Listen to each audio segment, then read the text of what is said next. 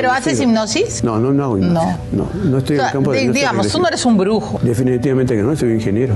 Eres ingeniero, eres un cosmobiólogo. También. Pero mucha gente dice, sí, ah, pero todo esto es un engaño muchachos, eso de que Rubén Jungblut sale en la televisión y dice que Vizcarra tiene que juramentar a tal hora y bueno, como no me hizo caso, se cayó su gobierno. Castillo tiene que juramentar y sin sombrero, ya estoy, ¿no? Parafraseando. Y también había un eclipse y no me hizo caso y se cayó. Ok, hay gente que dice, bueno, puede ser casualidad, puede ser que la chuntó, etc. Bueno, sí, definitivamente, pero a ver, el senador Barack Obama se presenta a, a las elecciones por primera vez y yo digo que va a ganar. Una casualidad. Luego me hace otra entrevista y digo que va a volver a ganar en la reelección una otra casualidad. Me preguntan si va, y ahí todo está grabado, sustentado en YouTube, eh, Donald Trump se va a imponer ante Hillary Clinton. Dicen que no, yo digo que sí, y gana.